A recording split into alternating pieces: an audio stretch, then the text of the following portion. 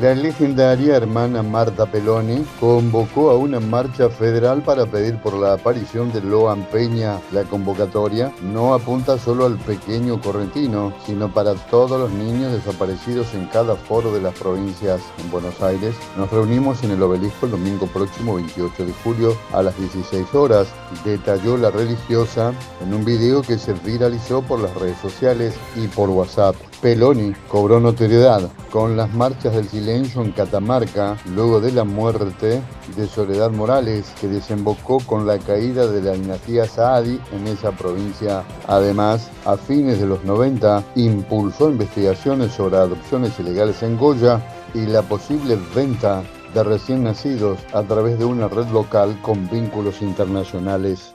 La red de infancia robada convoca a todos los argentinos a la marcha federal a realizarse por Loan y todos los niños desaparecidos en cada foro de las provincias. En Buenos Aires nos reunimos en el obelisco el domingo próximo 28 de julio a las 16 horas. Los esperamos.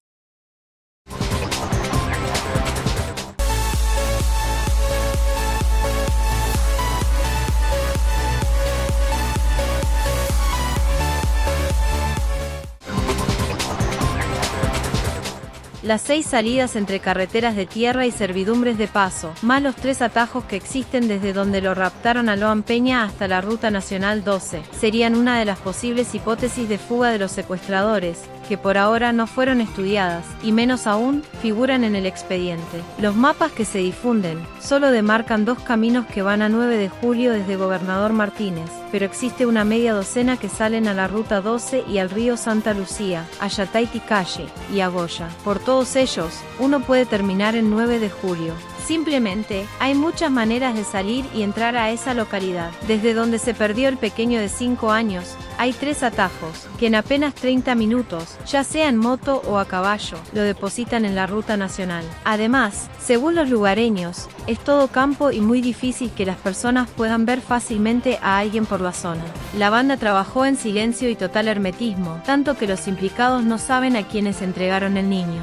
Los captadores de menores buscan una salida rápida y eficiente tras conseguir el objetivo. Dejan falsas pistas y no duermen la mercancía humana cerca. La primera parada se concreta a cientos de kilómetros de distancia. La entrega del pequeño de 5 años, como se informó anteriormente, fue un pago de deuda a un núcleo de narcotraficantes que posteriormente se interpreta ya tenía negociado el chico con una banda de trata. Hacia allí apuntan algunos abogados de la familia Peña.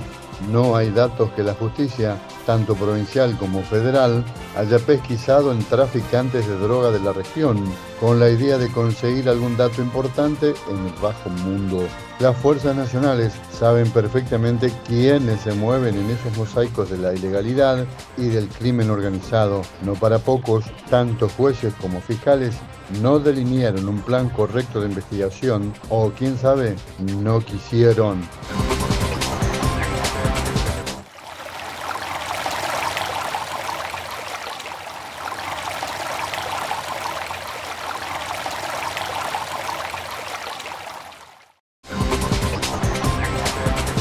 Polémica denuncia penal de un fiscal de Comodoro Pi contra el gobernador Gustavo Valdés, el senador provincial, Diego Pellegrini, el exministro de Seguridad, Buenaventura Duarte, y también a su sucesor Alfredo Vallejos, y el abogado José Fernández Codazzi por la desaparición del pequeño Loan Peña. El dato sorprende, porque casualmente horas atrás el afamado penalista y querellante en la causa Fernando Burlando, dejó trascender que quería llevarlo a Valdés a los tribunales porteños. Extraña coincidencia. El fiscal Guillermo Marijuán pide que se los investigue por encubrimiento, abuso de autoridad e incumplimiento de los deberes de funcionario público. La denuncia quedará en manos del Juzgado Criminal y Correccional Federal número 7, a cargo de Sebastián Casanello, juez que intervino en diversas causas contra el kirchnerismo y a quien lo vincularon más de una vez al macrismo. El fiscal Marijuán tomó notoriedad cuando en tiempos de la presidencia de Mauricio Macri hizo cavar media Patagonia buscando los supuestos containers enterrados con los millones de dólares robados durante el kirchnerismo. Finalmente no se halló nada, y todo terminaría en un show. Asimismo vuelve a surgir la controversia si la justicia federal de Buenos Aires puede actuar sobre acusaciones, donde debe intervenir el fuero provincial.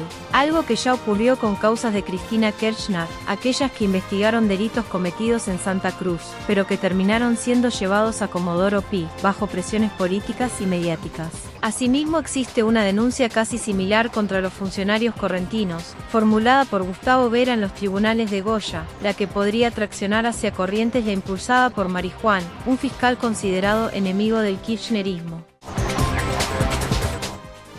Este miércoles habrá una mínima de 18 grados y una máxima de 31, con el cielo parcialmente nublado día caluroso y húmedo en la ciudad de Corrientes. Escucha en Radio D 100.7 lo que no vas a escuchar en otra radio. Periodismo sin ataduras. Un compromiso con la verdad. La única realidad en la información. Seguinos también por Instagram.